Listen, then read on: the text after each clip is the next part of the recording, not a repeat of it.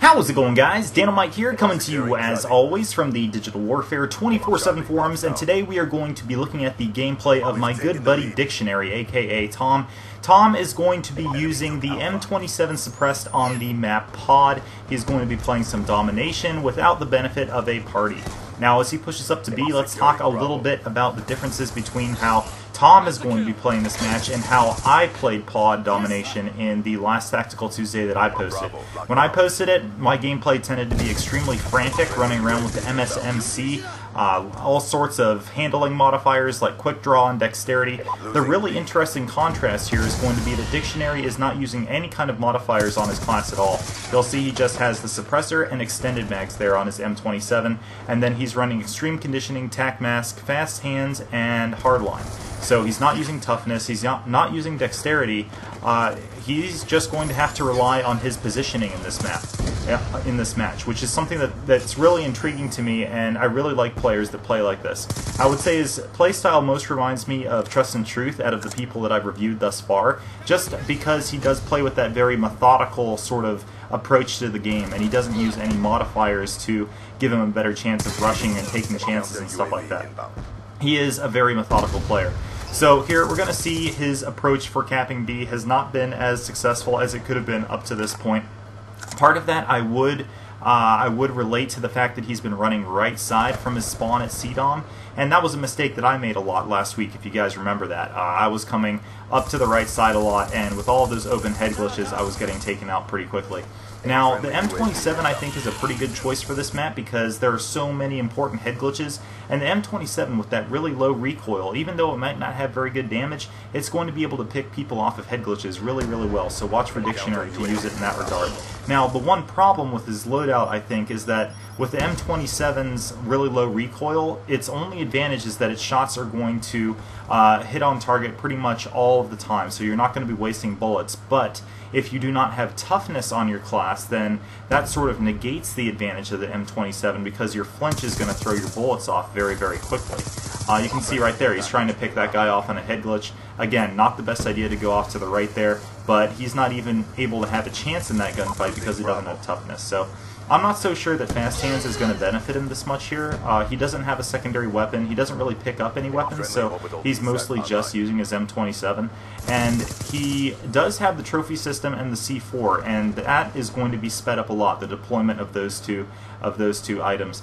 But I do not think that Fast Hands is maybe going to be the best choice here. If he swapped that out for toughness, maybe he'd see some better results with the M27. But as you can see, he is actually starting to heat up with that M27, so uh, I can't I can't fault him for that. He does end up putting an excellent score up here, and definitely has the right idea to use an assault rifle. So now that we've gotten past the first few minutes of this game that have been maybe a little bit slower with Dictionary trying to position, his teammates have this VSAT up now, and he's really going to be able to go to town. Look at him moving in on these guys in their spawn. He's able to take out one, two, he's on the Merciless here he has he has them spawning all over him right now. The spawns are definitely a little bit wonky on this A side of the map. Even if there's someone right on top of it, it does not push them to secondary spawns. So be aware of that if you're trying to flank that A spawn. Now, Dictionary is going to call in his Hellstorm, and one thing I noticed about how he calls in his Hellstorms is that he deploys them almost immediately. And I've seen a couple other players that I've reviewed do this as well. And a reason why I don't think that's good, a couple reasons actually, is first of all, it if you de- if you deploy your cluster bombs really really early, the cluster bombs travel a lot slower than the missile when it's being boosted. So your time to target is going to be a lot longer. Now that does two things. First of all, it's going to give uh, give your targets a lot longer to get under cover before the bombs actually hit. And second of all, it's going to keep you vulnerable in that kill streak laptop for a longer period of time. So there you can see he doesn't have toughness, and that's going to end up making him flinch really hard. Another thing you might be able to use to compensate for not having toughness is a stock, so you can at least strafe out of their line of fire. But Dictionary isn't using that either. He isn't using any kind of modifier at all. But right here you can see he anticipates them spawning next to C really, really well. He can see, if we look at the mini-map, that all of his teammates were blocking the C spawn, uh, or the A spawn rather, so he knew they were going to have to spawn over on C. And he read that really, really well and picks up the Fury kill there. So nice work from Dictionary as he pushes into the middle here. He takes some fire from that pod, but isn't able to react quite in time. Still, the damage has been done, and he is going to have his VSAT, his Hellstorm, and his Lightning Strike to unload on the enemy team. You can see he's ahead by a pretty good margin, and he's wisely going to save his streaks for the next round. At this point, he is going to be 30 and 8, leading his team by a very comfortable margin, and I believe some of the enemy teams uh, are actually going to start quitting here, unfortunately, but um, like I was saying, I really like this this choice of loadout for for dictionary for Tom to be using here. And as he moves in, let's see the approach that he takes to B Dom. I really think that spawning A in, on this map, you have a really good advantage going down from pretty much any direction because you do have the high ground, and you also have an advantage in head glitches. The only advantage that I would see from the C side is that you have that flank if you run to the left and then across the bridge in front of the A side pod. Uh, that's a really good flank you can use. And look at that, already he's back up to his VSAT. He's going to be able to call in this lightning, or uh, Hellstorm rather. You see he boosts it there a little bit more in advance and is able to get his bomblets on target a little bit faster there. So he's going to call in his lightning strike here and pick up a quick kill. Now that he has the VSAT deployed, let's see the route that he runs into their spawn. Uh, either side that he runs here, he's going to have some good head glitches to work because he is coming from that A side. I do think that A side is significantly stronger, like I was saying, than the C side. So here he goes, he's going to be pushing up, he's going to take out that guy on the barrel head glitch. I think if you remember back to the video I posted last week, I was dying constantly at that spot, trying to work around their right-hand side from CDOM to uh, get past those barrels, but it's nothing doing. It's a very poor place to engage. Here you see him making really good use of cover. He's not going to flip their spawns. He's going to sort of hover outside. Here he sees a big cluster of them spawning in together, and he sees a chance to make a play, so he's going to pick up one, two. That suppressor really, really doing good things for him. Here. See the guys that are all around him in the in the spawn right now? They're just completely oblivious to him because he's got that suppressor on.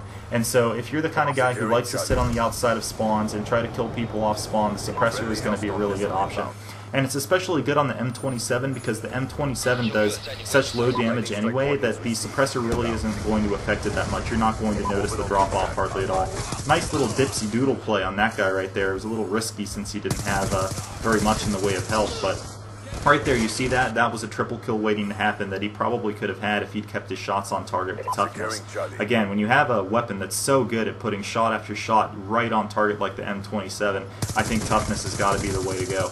Right there, he flinches, but he is able to get his shots back on target. Really, the way I think that he succeeds in this match is that he does a great job of just planning out his routes. He has a VSAT up for a lot of the time, so he's able to really work his awareness into the equation when he's figuring out which which directions he wants to approach from. Like right here, he sees that cluster of guys on C. He knows he's going to be able to move in, and these guys are not going to be able to see him coming. He comes in behind them, and he's going to pick up a couple more now his VSAT's actually going to go out. So let's see how he actually works without the VSAT. He's going to deploy that trophy right there. Really good job to reload cancel out of that reload. Uh, a lot of people, they'll just start reloading, and when they get caught, they'll panic, they'll try to run away, they'll try to knife. Um, always be aware of how many rounds you have in your magazine. Just reload cancel out of that if you don't think that you're going to have uh, enough time to go to a different option.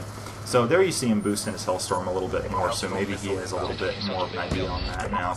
But I do really like the methodical approach to gameplay. Uh, I don't always think it's possible, like if your team is really, really far behind and you just need bodies to get on the flags, uh, then then there is definitely a need for people to rush really, really hard for the objectives. But what Dictionary shows here is just his ability to dictate the flow of the game, and he controls it just by where he positions himself. He doesn't feel the need to like rush deadlong into enemy concentrations. He he maneuvers around and is able to engage them on his own terms. So a really good playstyle there, one that you should seek to emulate. And if you guys feel like it, maybe even try taking off, you know, take off those weapon modifiers like dexterity and stock. That would be my advice from this gameplay, is maybe see how you do without those, without those handling modifiers, I should have said. And see if you can get yourself to rely a little bit more on your positioning and I think that's going to do a really good job of improving your overall awareness and ability to perform in the game. So there we go, Dictionary's final score is going to be 50 and 12. Thank you guys so much for watching, and stay tuned till next